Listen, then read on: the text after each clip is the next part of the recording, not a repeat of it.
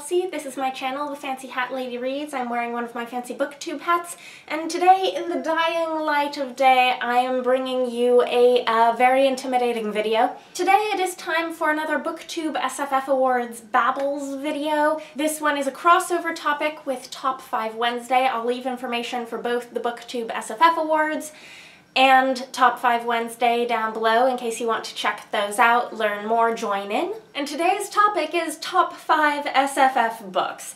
Um, and this is challenging because that's most of what I read, but also challenging because how many books are there really that I love that I feel deserve to be on sort of a best favorites of all time list. So I've got a list of five books here. No surprise for me, they're all fantasy. I read plenty of science fiction, but they are rarely my favorites of the favorites. And I'm going to explain a little bit how I came up with this list. First, I limited my scope to books that I have read since graduating college. Um, this is because I want to make sure that everything on this list is something I've read recently enough that I can really recommend it in good conscience as my current self with my current outlook. I think that when I graduated college is really when I turned myself into the reader I am today, so that seemed like a good milestone marking place for me. And I realized that this eliminates from consideration a lot of childhood favorites that I have not had time to revisit. If you'd like a video where I talk about some of the childhood books that I'd like to revisit at some point, um, my previous video that I just posted yesterday is actually full of books that I mailed to myself from my parents' house, many of which are books from my childhood that I'd like to reread. Um, but the second consideration that I really thought about when I made this list is that I wanted these all to be, contradictorily, uh, books that for me have stood the test of time in some way. So the way I wanted to impose that is that all of these are books that I read for the first time over a year ago, um, regardless of how many times I've reread them since. Because I wanted these all to be books that either have stuck with me for enough years that I've reread them, or in some cases reread them multiple times, or have left me after a full year since reading them, still wanting to dive back in and read them again. Because it's really easy to get swept away in the love of a book that you've just finished. It's rarer for me for a book to really stick to my ribs over a long period of time. So enough with the explanations, here are the books. So I had to pick one Robin McKinley book. I made myself pick only one because if I let myself pick multiple Robin McKinley books, this would be much more challenging. Um, and this is one that really has stuck with me over a long stretch of time, and that is Deerskin. This was a book I first read in high school when a lot of it was lost on me. Um, I reread it in college and I reread it again after graduating college. And this is a book that has sort of stuck itself somewhere in my soul and it has never really gone anywhere. I think that every time I read it, there have been different parts of the book that I found particularly meaningful. This is a retelling of a pretty disturbing fairy tale called Donkey Skin, in which there is a king who wants to marry his daughter and she has to escape this situation. So this book has some really tough content, including a very disturbing rape scene. But McKinley handles the subject matter with such grace and eloquence and power. I think this is a really strong feminist fantasy that feels like it gets more pressing and important and relevant every time I read it. It's about a princess named Lissar. This is a very slow-paced book. You take a long time um, in this sort of atmospheric beginning portion of the book with her neglected childhood in this huge palace. And eventually you get her escape from the palace with her dog Ash. And I would say that the primary relationship in this book is the relationship between Lissar and Ash. So if you love good dog books, this is also a really good dog book. There is also a romance in the second half of this book, and I love that romance too.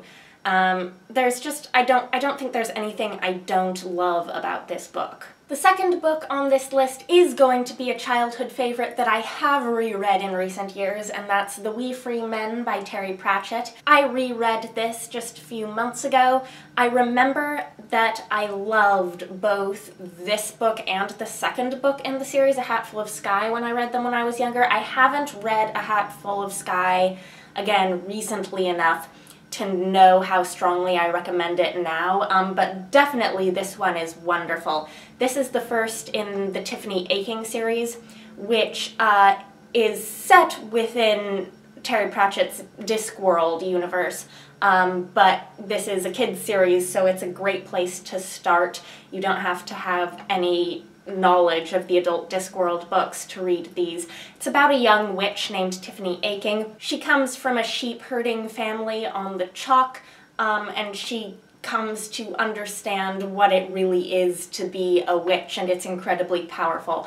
Uh, as well as funny, because of course Terry Pratchett is known for his humor. That's what you get with Terry Pratchett. So I'd say that this is both a great middle grade YA series um, for younger readers, and it's also a great book for older Pratchett fans or even anyone who's wondering where to start reading Pratchett's Discworld. I should add on a personal note, this was the book when I reread this um, back in November that got me into a reading mood again after the American election totally devastated me. What I love about the witches of Pratchett's Discworld um, including Tiffany Aching, is that their magic is mostly really about seeing the world clearly and making solid decisions, um, and less about actually conjuring up, you know, magic in the big showy sense.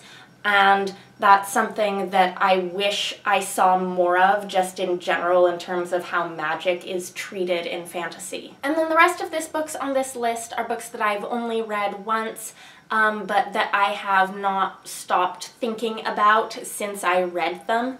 The first is going to be The Goblin Emperor by Katherine Addison.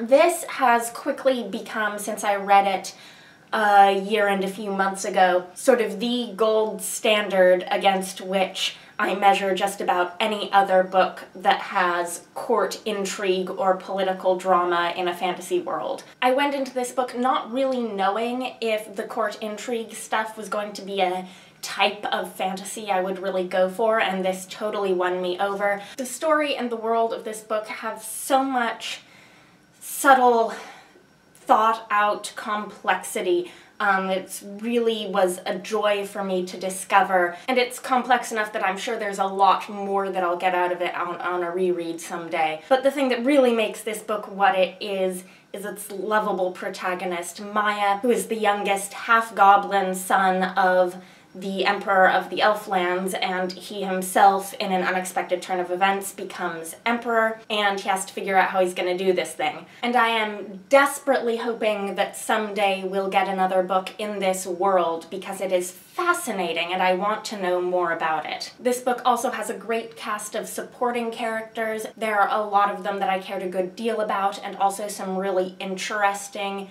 antagonistic characters um, who were fascinating to read about. This is basically in its tone and feel a warm and compassionate book, but that doesn't mean that anything is simplistic about it. Again, like Deerskin, this is a sort of denser book. It's a little more challenging to read. I didn't realize when I was reading it that there's a glossary in the back. This would have helped a lot. Um, so I think that when I eventually reread this, I'll understand more than I did on the first go. And then the last two books on this list are um, my only exception to the general rule of one book per author, because these books are really two parts of one whole. And also, to be honest, they saved me um, the challenges of picking the fifth book, because I really didn't know what the fifth book should be on this list. I had several contenders, but there was no clear winner. Uh, so I just let both books of The Orphan's Tales by Catherynne M. Valente round out this top five video. Volume one is in The Night Garden, volume two is in The Cities of Coin and Spice. These two are, I hesitate to call them a duology, they are two books in a series. Um, they are really both one thing. You can't really read one without the other. But also, I think volume one and volume two are, are, are a good way to describe these because each one contains two sort of self contained sets of stories that stand on their own in a way. And so, two volumes, four sets of stories, all of the stories end up connecting to one another in a way that makes it clear that this is all really one story. Does that make sense? So this is a stories within stories premise, which I, you know I love. It draws from fairy tales and mythology and folklore from all over the world, and Valente scrambles it together to create one immense mythos. The premise is that there is a neglected girl who lives in the garden of a palace and a boy from the palace who creeps out at night to hear her tell stories. And we don't know really who she is or what these stories have to do with her and why she has to tell them, and we eventually find out over the course of two volumes. These were the first books I read by Catherynne M. Valente. I would highly recommend these for anyone who loves her Fairyland books and is looking to get into her adult writing. These were written before the Fairyland books, and I read them before I got to the Fairyland books. But of her adult stuff that I've read, these are the books that strike me the most as being like dark,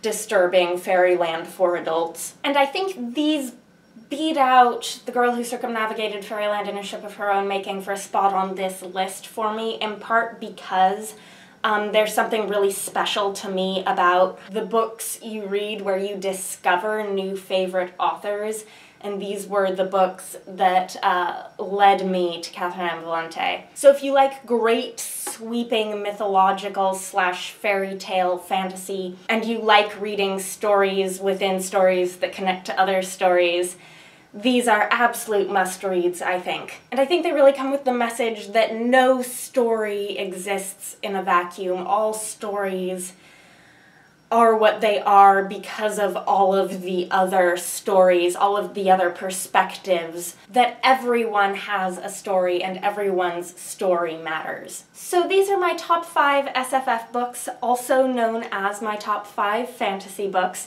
Um, I've talked about all of these in other videos, although maybe not necessarily as well as I would have liked to have. Um, so I was intimidated by this video, but ultimately really glad that I did it because I got to recommend all of these books to you all at once. Let me know if you've read any of these, if you have any all-time favorites you would like to recommend to me. Anyways, that is all. Bye for now.